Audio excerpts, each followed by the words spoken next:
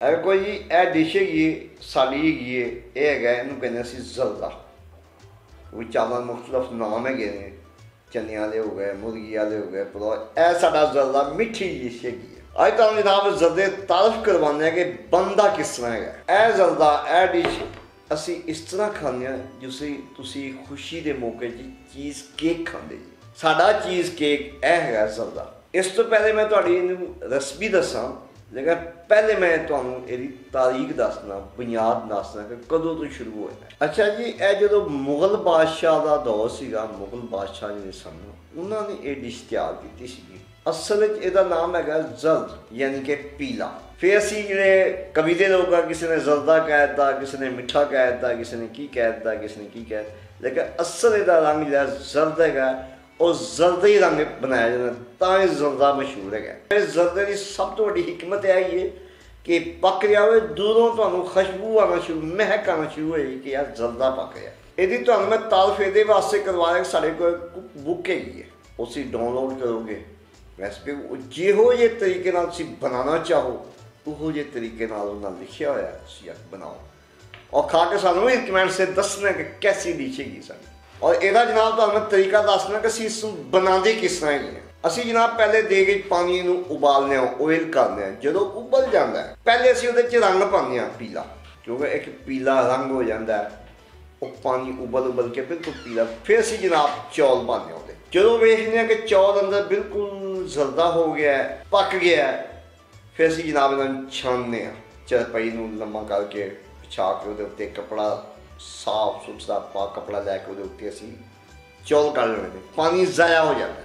ਫਿਰ ਜਨਾਬ ਇਹਦੇ ਵਿੱਚ ਅਸੀਂ ਦੁੱਧ ਪਾਉਂਦੇ ਹਾਂ। ਫਿਰ ਜਨਾਬ ਇਹਦੇ ਵਿੱਚ ਅਸੀਂ ਦੁੱਧ ਪਕਾਇਆ ਜਾਂਦਾ ਹੈ। ਵਿੱਚ ਚੀਨੀ ਦਾ ਇੱਕ ਯਾਨੀ ਕਿ ਚੀਨੀ ਦਾ ਇੱਕ ਲਿਕਵਿਡ ਕਿਸਮ ਦਾ ਬਣ ਜਾਂਦਾ ਹੈ। ਸ਼ਰਬਤ ਬਣ ਜਾਂਦਾ ਹੈ ਚੀਨੀ ਦਾ। ਫਿਰ ਚੀਨੀ ਦੁੱਧ ਅਸੀਂ ਮਿਕਸ ਕਰਕੇ ਇਹਨੂੰ ਪਕਾਉਂਦੇ ਹਾਂ। ਵਿੱਚ ਜਦੋਂ ਗਿਰੀ, ਪਿਸਤੇ, ਬਦਾਮ ਛੁਹਾਰੇ ਉਸ ਇਹਦੇ ਵਿੱਚ ਪਾ ਦਿੰਦੇ ਹਾਂ। ਜਦੋਂ ਜਨਾਬ ਇਹ ਜਦੋਂ ਵੇਨਿਆ ਸੰਗਲਾ ਹੋ ਗਿਆ ਫਿਰ ਅਸੀਂ ਇਹਨੂੰ ਦੇਗ ਤੋਂ ਅੱਗ ਬੰਦ ਕਰ ਦਿੰਦੇ ਹਾਂ, ਫਿਰ ਕੋਇਲਿਆਂ ਤੇ ਰੱਖ ਦਿੰਦੇ ਹਾਂ ਅਸੀਂ। ਕੋਇਲਿਆਂ ਤੇ ਰੱਖ ਕੇ ਇਹਨੂੰ ਦਮ ਆ ਜਾਂਦਾ ਹੈ ਕਿਸਮ ਦਾ ਅਸੀਂ ਇਹਨੂੰ ਦਮ ਦੇ ਦਿੰਦੇ ਹਾਂ। ਜਦੋਂ 15-20 ਮਿੰਟ ਦੇ ਬਾਅਦ ਅਸੀਂ ਦਮ ਖੋਲ੍ਹਦੇ ਹਾਂ ਉਹ ਖੁਸ਼ਬੂਦਾਰ ਮਹਿਕਦਾਰ ਜ਼ਰਦਾ ਤਿਆਰ ਹੋ ਜਾਂਦਾ ਔਰ ਅਸੀਂ ਪਕਾਣੇ ਕਿਸ ਟਾਈਮ ਹੈਗੇ ਹਾਂ? ਈਦ ਆ ਰਹੀ ਜਾਏ ਤਹ ਜਿਵੇਂ ਤੁਹਾਡਾ ਤਿਉਹਾਰ ਆ ਜਾਂਦਾ ਕੋਈ ਈਦ ਆ ਜਾਂਦੀ ਹੈ ਤੁਸੀਂ ਆਪਣੇ ਚੀਜ਼ ਕੇਕ ਲੋਕਾਂ ਨੂੰ ਗਿਫਟ ਕਰਦੇ ਜੇ, ਖਵਾਉਂਦੇ।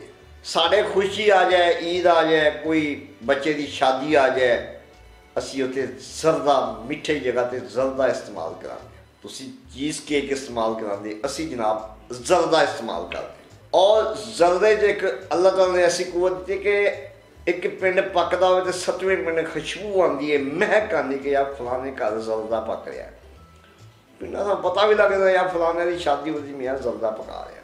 ਪਕਵਾਨ ਜਿਹੜਾ ਹੁੰਦਾ ਹੈ, ਇਹ ਕਿਉਂਕਿ ਪੱਕਦਾ ਵੀ ਬੜੇ ਤਰੀਕੇ ਨਾਲ ਹੈ। ਜਿੰਨਾ ਪਕਵਾਨ ਅੱਛਾ ਪਕਾਏਗਾ ਉਨੀ ਦੀ ਅੱਛੀ ਖੁਸ਼ਬੂ ਅੱਛੀ ਮਹਿਕ ਹੋਏ ਹੁਣ ਜਨਾਬ ਅਸੀਂ ਬਿਸਮਿਲ੍ਲਾ ਕਰਨ ਲੱਗੇ ਤਾਸ਼ ਕਰਾਂ ਅਸੀਂ ਖਾਣ ਲੱਗਿਆ ਹਾਂ ਜ਼ਰਦਾ ਆ ਦੱਸਦੇ ਕਿ ਕੈਸਾ ਮਜ਼ੇਦਾਰ ਸੈਕੇਦਾਰ ਹੈ।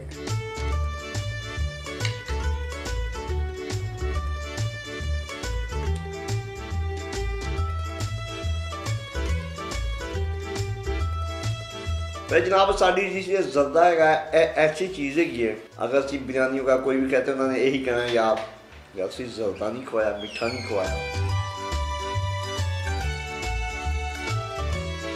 ਫਿਰ ਜ਼ਰਦਾ ਹੀ ਜਨਾਬ ਜਿੰਨੀਆਂ ਚੀਜ਼ਾਂ ਪਾਉਂਦੇ ਜਾਓਗੇ ਉਨੀ ਦੀ ਖੂਬੀ ਵੱਧਦੀ ਜਾਏਗੀ ਬਸ ਤੁਸੀਂ ਵੇਖਿਆ ਗੁਲਾਬ ਜਾਮਨ ਲੱਡੂ ਚਮਚਮ ਵਗੈਰਾ ਦੇਗਾਂ 'ਚ ਪਾਉਂਦੇ ਨੇ ਆਂਡੇ ਅਸੀਂ ਉਬਾਲ ਕੇ ਵਿੱਚ ਸੁੱਟਨੇ ਆ ਤੇ ਪਾਉਂਦੇ ਆ ਤਾਂ ਕਿ ਉਹਦਾ ਇੱਕ ਡਿਜ਼ਾਈਨ ਬੜਾ ਖੂਬਸੂਰਤ ਮਜ਼ੇਦਾਰ ਬਣ ਜਾਂਦਾ ਹੈ ਖਾਸ ਕਰਕੇ ਪੈਂਠੇ ਦੀ ਮਠਾਈ ਇਹਦੇ ਕੱਟ ਕੇ ਪਾਈ ਜਾਂਦੀ ਹੈ ਕਿਉਂਕਿ ਮਿੱਠਾ ਜੋ ਹੈ ਤੇ ਤੁਹਾਨੂੰ ਜਨਾਬ ਹਰ ਚੀਜ਼ ਦਾ ਜ਼ਾਇਕਾ ਅਲੱਗ-ਅਲੱਗ ਨਜ਼- ਦੱਸੇਗਾ।